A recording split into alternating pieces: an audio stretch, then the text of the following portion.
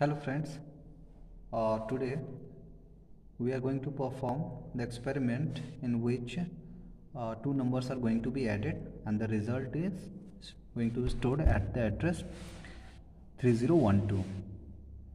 So for performing this experiment, uh, today we are going to uh, use machine language or by using opcode.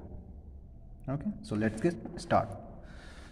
So in machine language. So for performing this experiment we have to use the command m m for examine memory. Okay?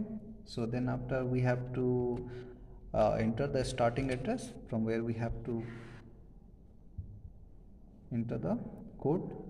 So opcode then after entering the address simply press space bar after that space bar we have to simply uh, type the code whatever it is. So the first uh, opcode is 78 okay? Then again press spacebar then we go to the next uh, address that is 3001 so at 3001 it is stored at 03 so we are going to write here 04 then after again spacebar then uh, 79 79 then spacebar 0505 then spacebar E9 then space spacebar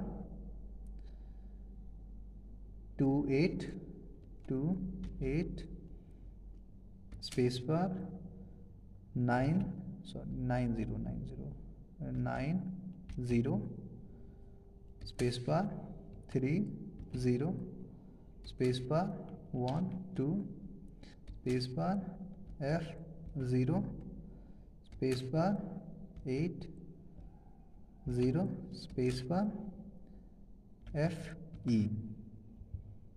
Then again one more space bar. And now we have to execute we have entered the opcode into different uh, addresses. So so we are going to execute. For executing we have to press this uh, reset button first. Then after we have to press G. G command is used for executing. So press G on the keyboard. Then after press the starting address. So starting address it was 3000 and then after press enter. So when we press enter the execution completed. So now according to the program which is already shown in the beginning we have to see the result. So the result is stored at address 3012 so for uh, seeing that result we have to again press m.